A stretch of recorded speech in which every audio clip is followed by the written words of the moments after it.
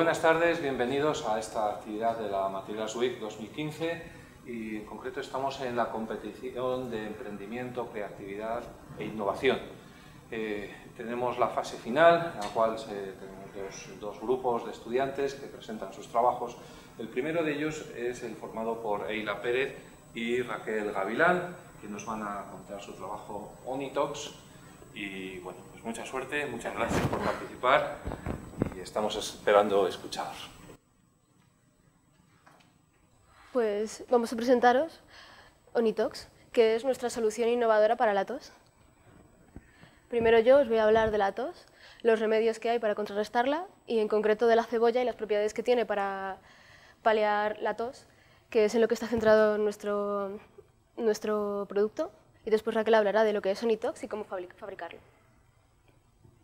La tos es la forma que tiene el cuerpo de mantener despejadas las vías respiratorias y es síntoma de enfermedades como es el catarro, el asma, la gripe y otras enfermedades del sistema respiratorio. Y puede ser seca o irritativa, que es cuando te tiras todo el rato tosiendo y es muy molesto, o productiva cuando tienes flemas y mucosidad que expulsar. Los remedios que tenemos para aliviar estos síntomas porque el resfriado hasta que no se cura, pues tienes que aguantar los síntomas que tiene. Entonces una forma que hay es aliviar los síntomas para que sea más llevadero.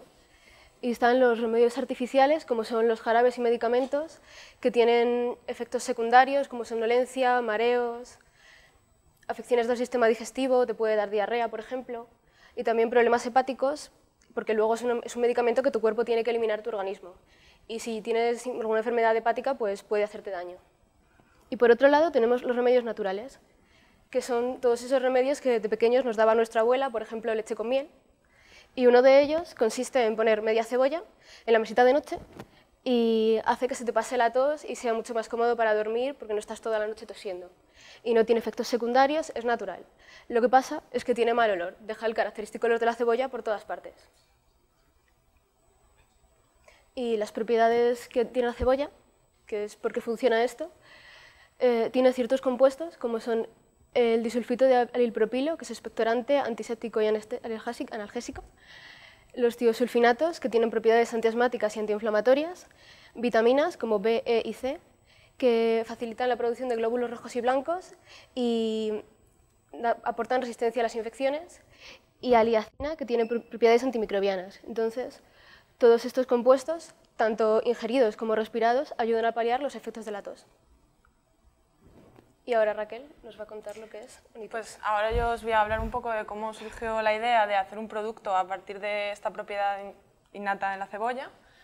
Entonces lo primero que pensamos es, bueno, eh, si realmente eh, tu abuela te dice que funciona, tú lo pruebas y ves que estás toda la noche sin toser, cosa que no pasa incluso cuando tomas un jarabe, que muchas veces te tomas el jarabe y aunque estés media hora bien, luego te vuelve a dar el ataque de tos, pues deberíamos hacer algo comercializable, ¿no? que sea un poco más fiable y que esté testado y que sea científicamente respaldado, que se base en esto. Entonces, Onitox es un producto que nos gustaría poder desarrollar. Evidentemente no hemos tenido los medios para hacer todo el respaldo científico ni para poder producirlo, pero nos gustaría poder hacerlo algún día y se basa precisamente en todos estos compuestos que ha dicho mi compañera Eila, que liberan la cebolla eh, lentamente cuando la partimos en la, en la, mesita. ¿Por qué partir la cebolla y no ingerirla? Bueno, pues porque realmente lo que buscamos es un, un producto que tenga la parte innovadora, ¿no? de no ser lo mismo de tomar algo natural que puede ser similar a tomarse un jarabe. Entonces, pues para la gente que tenga problemas digestivos o que no le venga bien ingerir, la cebolla es algo fuerte, pues eh, puede estar bien esta solución. ¿Qué necesitamos? Pues lo primero que necesitaríamos sería ver cuál es la concentración óptima de estas partículas en la cebolla para que sea efectiva contra la tos, pero que no sea excesiva. ¿Por qué? Porque estas mismas partículas que nos alivian la tos son las que nos dan picor de ojos cuando eh, partimos la cebolla. Entonces, si son demasiadas, si la concentración es demasiado alta, podría provocarnos un poco de irritación ocular. Entonces, primero pues deberíamos saber eso. Y lo siguiente que necesitamos es un agente conservador que actúe como conservante, y otro agente que sea el volatilizador, que haga una volatilización eh, controlada y uniforme durante determinado tiempo, porque lo que ocurre con la cebolla de forma natural es que esa noche te alivia, pero al día siguiente la tienes que tirar y partir otra. Entonces esto no, no sería viable con un ambientador. ¿no? Eh, he puesto estos formatos porque lo que habíamos pensado era que fuera pues eso, formato ambientador, ya que así lo puedes mezclar con otras sustancias volátiles que tengan buen olor y disimulen el olor de la cebolla, para que no huela tu casa de cebolla, ¿no? Eh, la casa, el coche o lo que sea. Entonces, para fabricarlo, lo primero que debemos hacer, después de haber mm, hecho todo el estudio científico de la concentración y de los agentes conservantes, etcétera, sería la obtención de los compuestos de interés. Hemos pensado largo y tendido sobre cómo debería ser esta obtención, ya que podría ser eh, fabricarlos de forma artificial o, o, bien obtenerlos de forma natural. Lo mejor sería obtenerlos directamente de la cebolla, ya que tal y como nos han ayudado unos compañeros, nos han aconsejado unos compañeros de agrónomos, que tenemos amigos allí, eh, nos han dicho que la, la, fécula de la cebolla se utiliza en multitud de aplicaciones en alimentación, por ejemplo, casi todas las sopas o los purés que van en, sobre, en, polvo, llevan cebolla deshidratada y además la de cebolla deshidratada se utiliza en, restauración y se vende, se comercializa. Entonces, lo ideal sería poder aprovechar ese sustrato de la cebolla para mm, fabricar esto. ¿Qué problemas habría? Pues que necesita un buen conservante porque si no, nada más obtener estos compuestos empezarían a volatilizarse y no podrías comercializarlos. ¿Qué sustancias volátiles perfumadas y conservantes? ¿no? Bueno, los conservantes que ya he hablado antes de ellos, eh, la verdad es que investigando en la bibliografía, lo que parece ser mejor para, para, conservar estas propiedades de la cebolla, al parecer es el limón, que es otro agente que además es natural. Eh, ¿Por qué? Por ejemplo, eh, yo he hecho la prueba, ¿no? Hice, realicé un, un escabeche con cebolla y con vinagre, que es lo que se le echa de forma tradicional al escabeche, y con limón. Y tras mm, cinco días, cinco o seis días, el que estaba en limón, la cebolla seguía picando y seguía manteniendo, si pica, es que tiene, digamos, esa acidez de los, de los compuestos azufrados. Mientras que el que estaba en vinagre, no. ¿Por qué? Porque el vinagre acelera la, la volatilización de estos compuestos. Entonces, el limón habría que investigar un poco que, cómo eh, utilizar esos compuestos de limón para conservar eh, los compuestos azufrados. Y luego, las sustancias volátiles perfumadas, lo que hemos pensado es que lo mejor serían dos opciones, bien eh, aceites naturales, aceites vegetales, o en forma de resinas, en forma sólida. El problema del formato sólido es que resulta un poco más difícil de, mm, digamos, controlar los agentes que, que hacen variar la velocidad de volatilización y también la uniformidad en, el tiempo. Entonces, bueno, em, nosotras empezaríamos, si pudiéramos investigar porque tuviéramos un, laboratorio a mano o que pudiéramos utilizarlo, empezaríamos con eh, aceites vegetales, perfumados, aromáticos, naturales. Eh, una ventaja que tiene esto es que, bueno, realmente con artificiales sería un poco más difícil porque lo que sí hemos visto es que todos los eh, ambientadores que contienen bencenos y naftaleno al parecer eh, hace que la cebolla pierda las propiedades. Y por último, el, envase, que como bien he dicho, debería ser formato ambientador, sobre todo porque dentro del envase se puede conservar más o menos las propiedades de la cebolla, entonces la idea sería que le fuera soltando al ambiente, fuera liberando estos compuestos al ambiente de la forma deseada, o sea, deliberadamente, tal y como queremos, si no, pues eso, si lo tienes en una resina, al final a lo mejor te dura pues, lo que me duró a mí la cebolla en el limón, ¿no? que eran pues, 5 o 6 días, que bueno, para ser una cosa que realmente puede ser muy barata, porque ya hemos visto que está a base de cosas muy naturales y que se tiran en la industria alimentaria, pues sí que, sí que a lo mejor aunque duraras 5 o 6 días sería viable comercializarlo. Y eso ha sido todo, así que cualquier pregunta.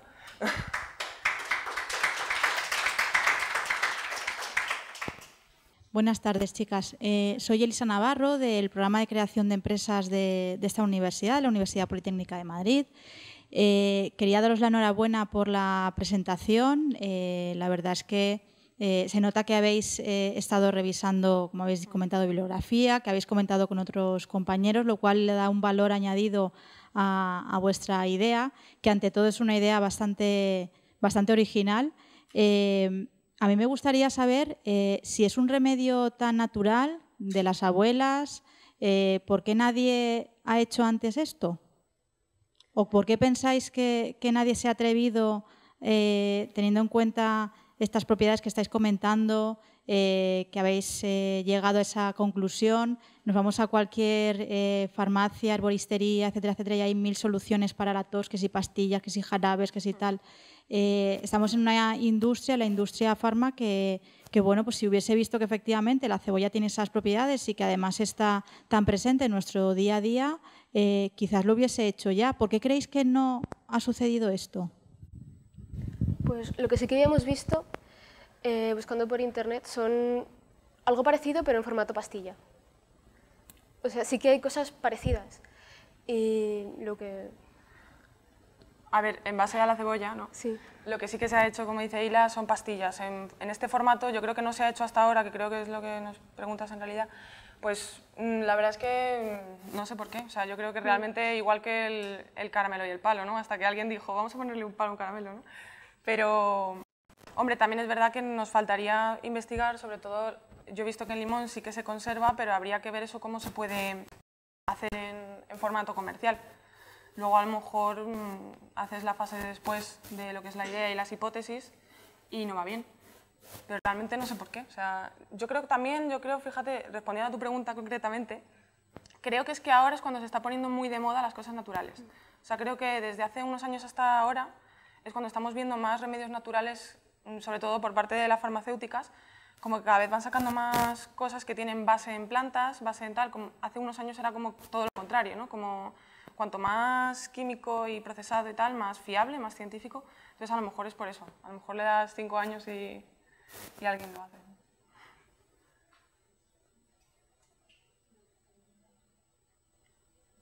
Hola, buenas tardes. Eh, enhorabuena la idea.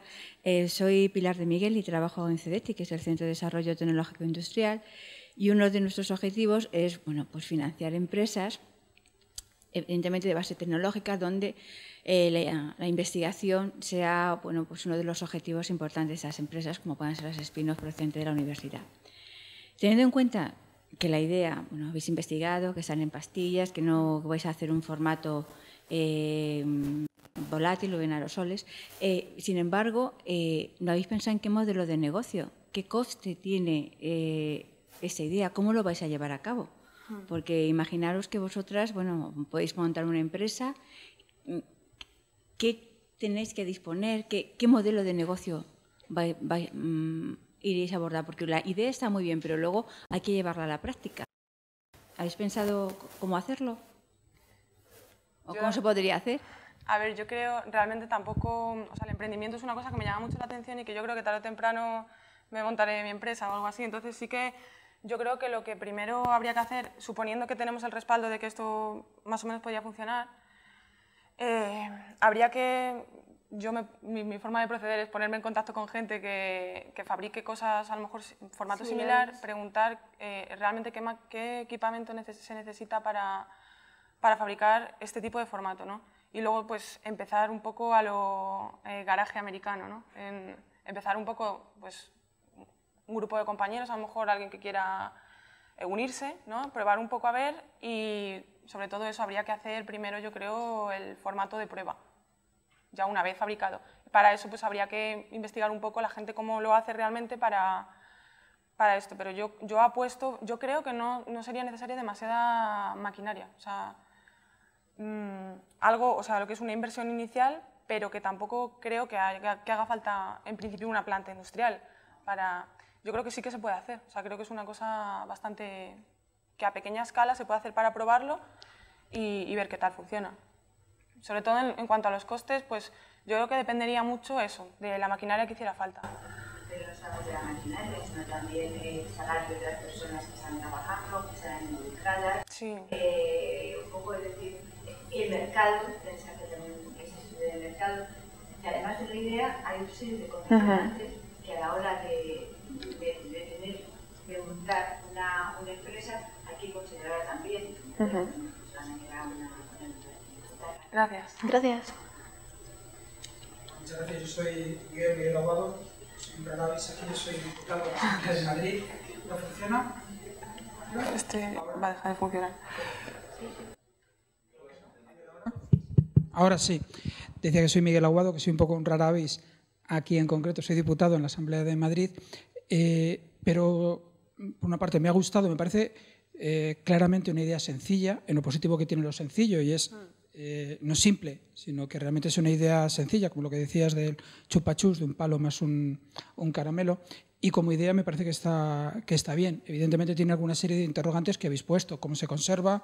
Porque una vez puede estar envasado al vacío, una vez que se abre cinco días bien, si tiene un sistema de conservación el tiempo. Todo eso hay que probarlo, obviamente. Pero iría quizás, eh, es casi más pregunta o, incidir más en, eh, también con la última, con la última intervención.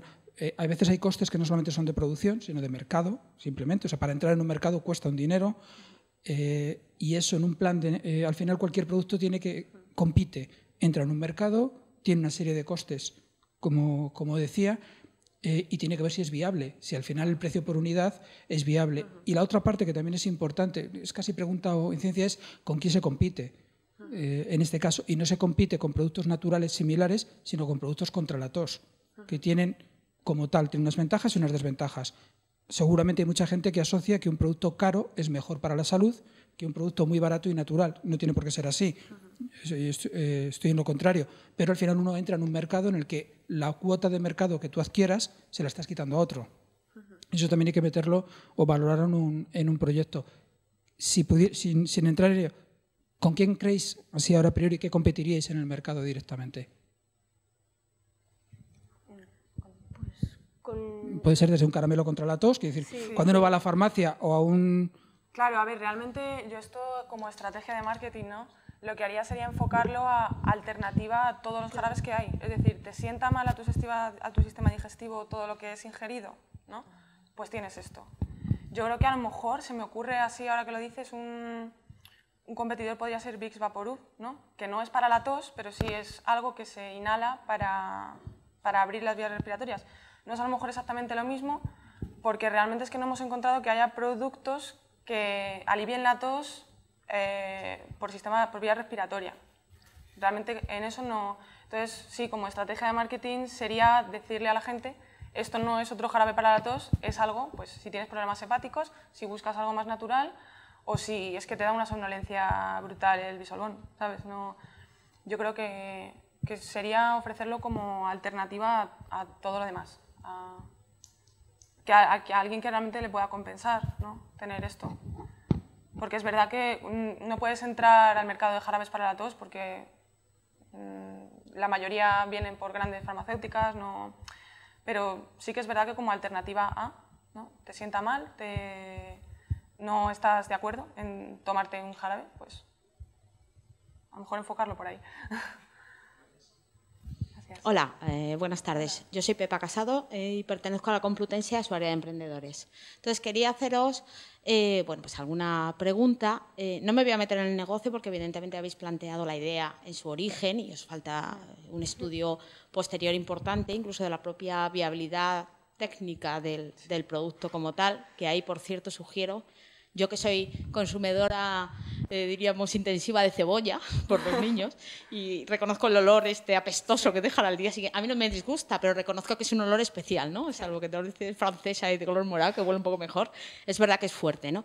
Entonces, eh, lo que sí que eh, os sugiero, os, os, diría, es que analicéis muy bien esa viabilidad técnica de si realmente se puede conseguir transformar los inconvenientes de la cebolla de tal modo que al final se pueda llegar a aportar el beneficio que efectivamente tiene, aunque parezca que no, ¿no? Entonces yo creo que es importante que valoréis eso y, y en el caso de que veáis que es posible generar ese aceite o lo que sea, yo os animo evidentemente a que lo comercialicéis porque a muchos de nosotros nos vais a, mejorar la vida. ¿no? Lo del Bisvaporus en los pies con calcetines está bien, pero también es un remedio casero que funciona y que te recomiendan, pero efectivamente la cebolla es una cosa que se usa y con miel y hay formas quizá de, de aplicar este tipo de solución al mercado dando respuesta evidentemente, ya no solo, no yo desde mi punto de vista y como consumidora, no solamente desde desde el lado de los inconvenientes de tomar medicación aparte, jarabes y todo lo demás, sino que también generas un entorno más saludable de cara a la respiración, puedes tenerlo en cualquier otro contexto. Entonces creo que vuestro mercado puede ser quizá más grande que solamente la sintomatología de la tos, generando a lo mejor un espacio mejor, o sea, el mercado puede ser mayor. Pero ahora mismo, por eso no me voy a meter en el negocio como tal, en el momento que tengáis la viabilidad técnica del producto y consigáis un aceite, Eh, yo que os, os, animo, además os animo insistentemente en que intentéis generar un modelo de negocio escalable porque sí que es un producto que puede tener muchísimo mercado. Entonces, bueno, os doy la enhorabuena porque me resultó muy curioso cuando lo vi. La verdad es que trabajaremos en ello. Eso, eso, pero me resultó curioso lo del tema del olor a la cebolla, ¿no? Mm. Y otra cosa, vosotras sois de materiales. ¿De dónde, de qué carrera sois? De materiales las dos. ¿Y cómo os dio por lo de la cebolla? Únicamente porque tosíais.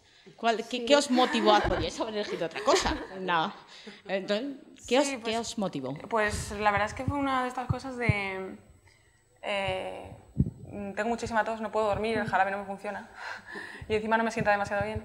Y me lo dijo mi abuela, lo probé, se lo dije a ella, se lo dijo a su padre. Se lo dijo a mi madre, estaba tosiendo toda la noche y ni siquiera yo podía dormir. Y, lo probamos. Y al final dijimos, oye, ¿y por qué no? Esto pues, deberían hacerlo de alguna forma, ¿por qué no lo ha hecho nadie? Mm.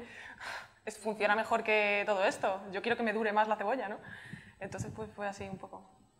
Y personalmente, como dos estudiantes de, de materiales, ¿os veis con iniciativa para poder llevar a cabo un proyecto de este tipo, desde el punto de vista de ¿Tenéis intención de ser emprendedoras? ¿Queréis ver a Elisa o no? ¿O simplemente es una cosa que os ha... Claro, que os habéis acercado aquí y habéis creado esto? No, simplemente por si a lo mejor realmente lo que queréis es intentar explotar un proyecto de este tipo, que puede ser una oportunidad, nadie dice que no. Yo realmente, yo, yo creo que sí. Sí, ¿no? yo, yo, yo, desde segundo de carrera así me he visto montando algo, porque es como que me gusta la gente que, tiene iniciativa y que coge una idea y la lleva a cabo. Es como una forma de trabajo que me gusta, ¿no? Es decir, de una idea, como en mi eslogan de, materializa tus ideas, ¿no? Pues esa es la idea. Ah, enhorabuena y seguid adelante. Gracias. Os dejo con Jaime y su presentación cuando quieras.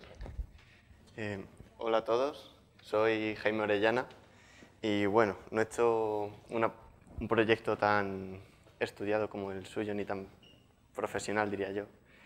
Yo simplemente he cogido un juego de cartas que me gustaba mucho, llevo jugando ya casi 10 años a él, y quería adaptarlo a, la ingeniería de materiales, porque, no sé, me hace ilusión. Entonces, no sé si conocéis las cartas Magic, son estas, os suenan Y bueno, en vez de llamarlas Magic de Gathering, pues las he llamado Materials de Gathering. Y bueno, pues básicamente bueno, ¿sabéis cómo está organizado el juego? Bueno, se sacan ediciones de cartas cada X meses y bueno, con esas cartas construyes una baraja y juegas contra un contrincante y bueno, el objetivo es ganar, ¿no? Entonces lo que he hecho ha sido crear una edición mm, de, materiales. Entonces, bueno, he cogido cosas, conceptos que hemos visto en la carrera, por ejemplo, tratamientos térmicos, primero de todo. Este sería, lo hemos visto este año en materiales metálicos. Y lo gracioso es que el efecto que tiene cada carta está relacionado con su nombre y lo que haría en la realidad, más o menos. O sea que también sería una especie de juego didáctico, lo cual juegas, aprendes un poco sobre lo que estás haciendo y bueno, yo me divertiría bastante. y bueno, os, os cuento algunas cartas así, por ejemplo, que he hecho. Bueno, hay algunas que son un poco, por ejemplo, esta, portador de integrales, porque hay que hacer criaturas y cosas que interaccionen en el juego, y era un poco difícil sacarlas, pero bueno, están integrales, que las ha hecho una criatura. Bueno, no sé si os estáis perdiendo los que no sabéis cómo va el juego. Bueno, a ver, en el juego hay criaturas y cartas, otras, que le hacen puntos de daño a tu oponente. Entonces él tiene unas vidas y cuando llega a cero vidas pierde, o sea, ganas. Entonces la... tienes que hacerle daño y bueno, pues necesitas criaturas, que serían estas, por ejemplo. Aquí tienen eh, unas características que son el daño que hace y la defensa que tienen, o sea, porque tienen que vivir, tienen que aguantar resistencias y bueno, es que mm, no sé si meterme a explicarlo mucho, sería bastante largo.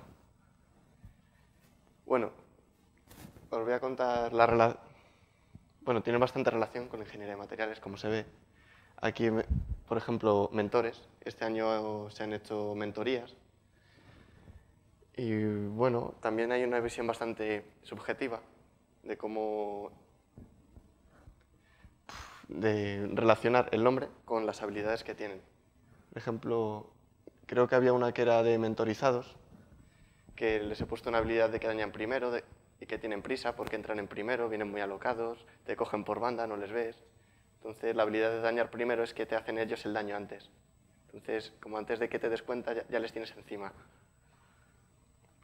Y es básicamente estos conceptos de que hemos visto. Relaciones el concepto con algo que se pueda aplicar al juego y que tenga bastante relación con la vida real. Y, y ya está. Y jugarías con ellas. Y esto es todo. Y bueno.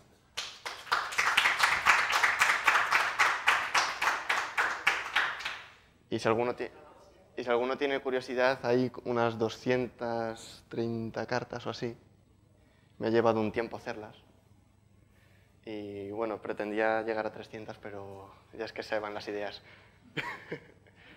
bueno, pues si hay alguna pregunta. Ahora, ahora sí, de las cartas Magic por un proyecto y sé que es una cosa que realmente genera afición, pero una afición muy fuerte pero evidentemente eh, tú has ideado algo que en un momento dado podría ser comercializable en un segmento muy pequeño de personas hmm. y habrá que ver si realmente es una alternativa eh, didáctica o se puede convertir en una alternativa lúdica, porque evidentemente en las cartas Magic hay bichitos, cosas así, animalitos, por lo que yo he visto hay unas cosas muy curiosas, pero desde el punto de vista de los materiales no sé si se puede generar un, un soporte, diríamos, de muñequitos en 3D, de cositas así que puedan al final generar las camisetas, todo lo que está asociado con las Magic. Entonces, evidentemente, eso será, entiendo que la etapa de lanzamiento del proyecto, si es que al final quieres que sea un proyecto, o si se va a quedar como un mero trabajo, diríamos, de amor a las Magic. ¿O ¿Qué pretendes hacer con estas 230 cartas que te has inventado? Esto lo comencé haciendo como un hobby, como divertimento, pero luego había pensado que a lo mejor podría incluirse en los juegos de la Materials Week, en la gincana de juegos, pero quizás sería un terreno muy especializado como para incluirlo. Y bueno, sabiendo que había un concurso de innovación, pues no sé, me parecía una idea pues que había innovado alguna cosa.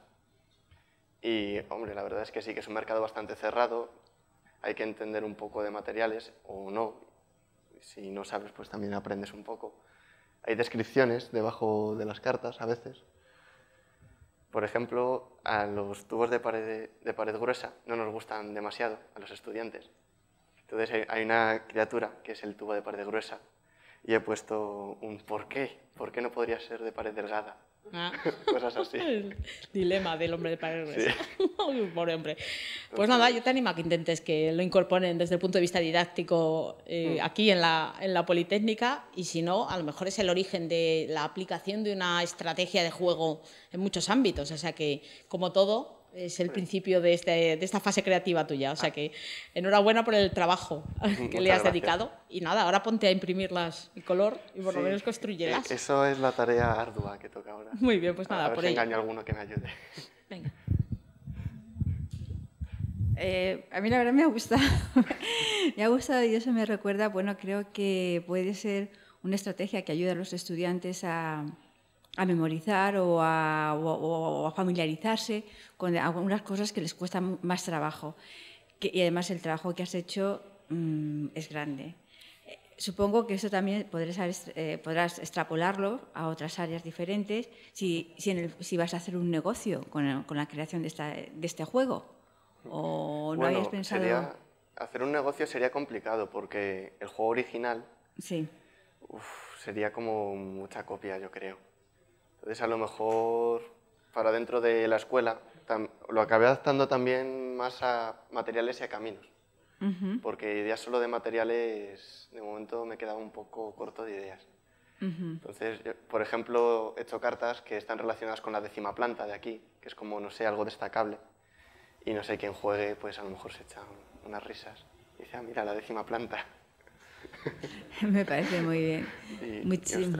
muchas gracias.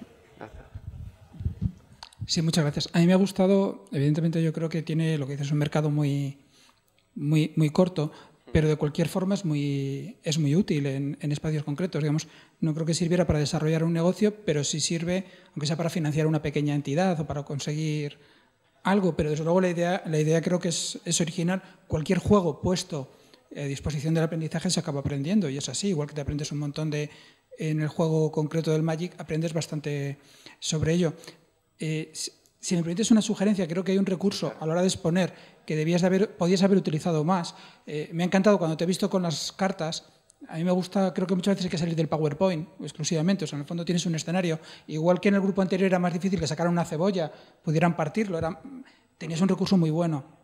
Nos has enseñado las cartas, pero quizás debías de haber hecho, se me ocurre como sugerencia, alguna gráficamente, aunque fuera una, una cartulina, como sería una en grande, o tener en la pantalla, porque eh, intuimos cómo es el juego, pero no lo hemos llegado a, a conocer. Y desde el punto de vista expositivo, tenías una gran herramienta, que era la propia baraja. Es muy, muy creativa para poder hacerlo, más allá del listado, y creo que habría quedado muy bien en cuanto a la, exposición.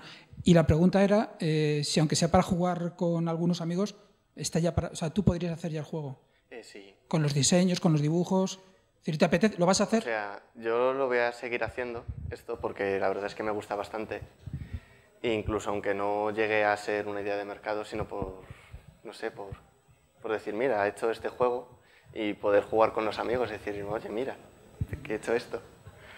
Y, ostras, perdona, ¿podría repetir la pregunta? No, no, era que si lo, que si lo ibas a hacer. Lo otro era una valoración, ah, si quieres más como una sugerencia de cómo mejorar en la exposición, porque mm. tenías un recurso muy bueno que era una baraja, era eso. Pero me refería, al final, la mejor prueba de que una cosa funciona es si lo vas a hacer.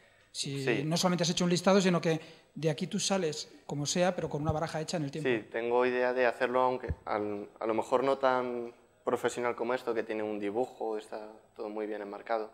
O sea, hacer como un diseño base, que sería prácticamente igual. Y a lo mejor los dibujos, pues es que es mucho trabajo hacer 230 dibujos. Así que, no sé, a lo mejor solo con texto y, y bueno. A vosotras.